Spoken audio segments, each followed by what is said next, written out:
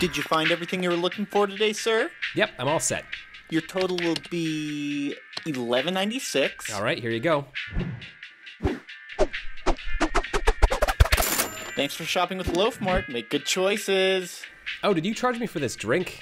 I had that when I came in. I already I, I bought it somewhere else. Well, why didn't you buy it here? Listen up. This is a robbery. Now open up the register or I'll blow your head off. Hey, buddy, there's a line. Hello?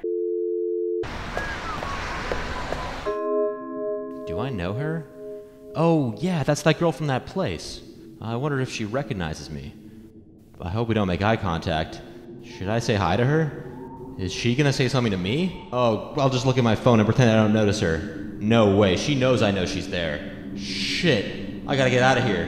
Where do I go? Oh, God, she's getting closer. Fuck, I'm so fucked. Oh, God, what do I do?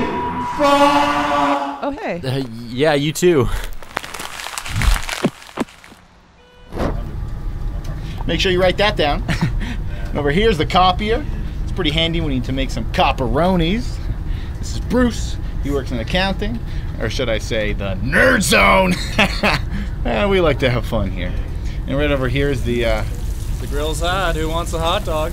why are you grilling in the office? Because I hate my job. Barbecue big balls.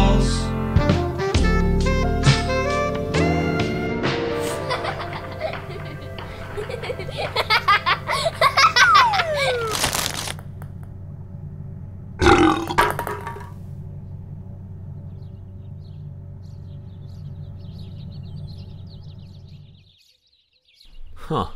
Hey man, every time I post a snapgram on my InstaChat, this girl always likes it. Bro, you know what that means, right? Uh, no, what? You gotta send her a private message with a dick pic. Seriously? Oh man, of course, it works for me all the time. Hmm, are you sure about that? Do I look like someone who wouldn't know what they're talking about?